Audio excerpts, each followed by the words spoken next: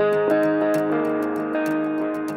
it's Craig from Nutriculture. I'm here with David, our resident lighting expert, and we're going to have a little chat about uh, CMH uh, lighting uh, to get know to get, to know the product a little bit better, to understand it, why you might use it. So, starting with that, why would somebody use a CMH lamp? In our experience, what tends to happen is that people who they tend to move over to CMH lamps. CMH, if you didn't know, stands for ceramic metal halide. And what that is, just showing you, I don't know whether you can see this, this is this internal part here. Because it's got ceramic in it, it actually can burn hotter. And without going into the more technical detail, it actually gives out a full spectrum of light. So going back to what I originally said is that the majority of people tend to have already grown with HPS lamps, be it 600, be it 1000 watt. With the CMH, these are 315s, so instead of using 600 and 1000 watt, it's only using 315 watt, so your power consumption is a lot lower.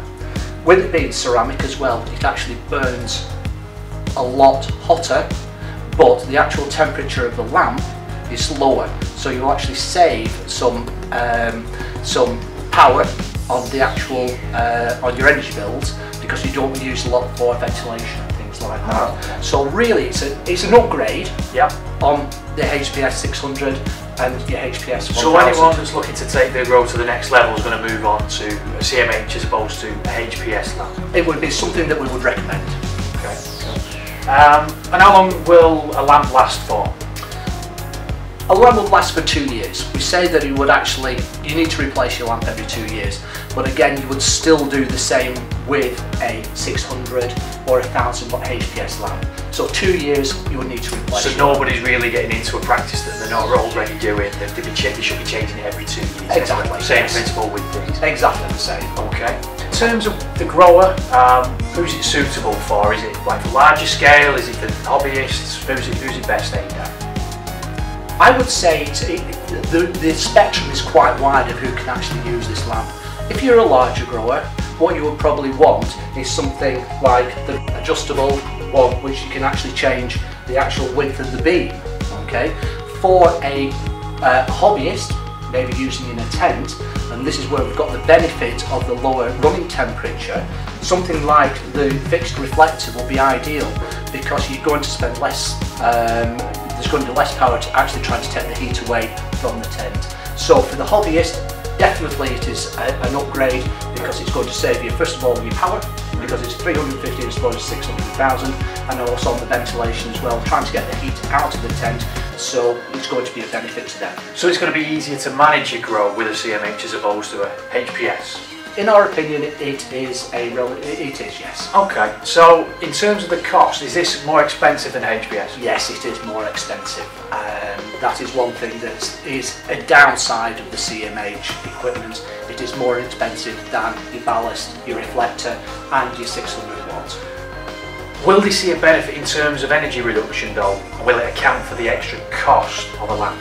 In our experience, yes, it does. Uh, the amount of money that you're going to be saving will, after your after one year, maybe maybe close to 18 months, you will actually see a uh, a, a saving of money. So there's a long-term benefit in moving to a CMH. But then there is, but we also come on to the other thing, is that in our experience, the yield that you're actually getting from a CMH outweighs the yield that you're actually going to be getting from HPS. So there's a long-term and a short-term benefit. Very, very much so, very much so. And we go back, to, go back to the lamp. The lamp is the key here. Generally, with the CMHs, there's two colour temperatures. You've got your 3100, which is your full spectrum, and then you've got your 4200, which is your more blue spectrum. Okay, your lamp is better, it's full spectrum than your HPS. With having a full spectrum, also, you've also got the issue with UV and far red, infrared. Ah, okay.